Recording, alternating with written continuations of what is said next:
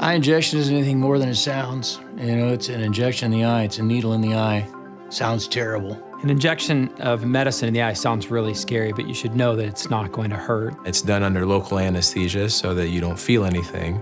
We uh, prepare the eye with uh, both lidocaine and a, a, cleaning solution called betadine to prevent infection. So that allows us to put medicine directly inside the eye, and there's a, a number of uh, of eye problems that it's very beneficial for. So fortunately, uh, the risks are pretty small. The risk of an eye injection comes down to some minor irritation. And you can get a, a bruise or a blood spot on the white part of the eye, which can look scary, but it's totally harmless.